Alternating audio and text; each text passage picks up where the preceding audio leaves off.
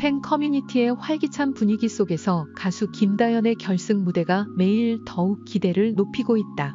화려한 터치로 터져나올 것을 기대하며 팬들은 그녀의 무대를 통해 현역 가왕 대회에서의 대승을 목격하길 바라고 있다. 중요한 결승이 점점 다가옴에 따라 팬들의 호기심은 김다연이 무엇을 부를지 알 수 없다는 점에서 더욱 자극받고 있다. 수많은 소문과 제안 중 특별한 소식 하나가 팬들을 더욱 불안하게 만들고 있다. 소식에 따르면 김다연은 결승 무대에서 선배 나훈아의 유명한 곡을 선택할 것이라고 한다.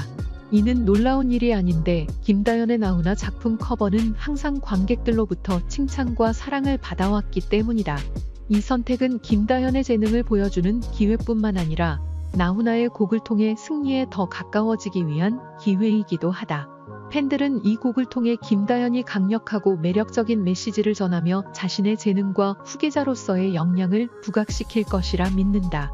이전에 선배 나훈아는 김다연이 자신의 커버곡을 부를 때 감정을 억누르지 못했다고 고백한 바 있다. 나훈아는 김다연이 자신의 훌륭한 후계자임을 인정하기까지 했다.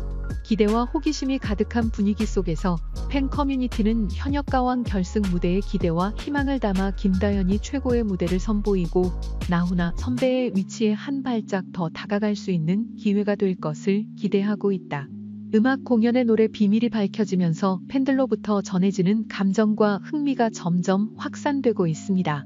김다연이 나훈아의 노래를 통해 관객들의 마음에 독특한 인상을 남길 수 있을지에 대한 의문이 제기되고 있습니다.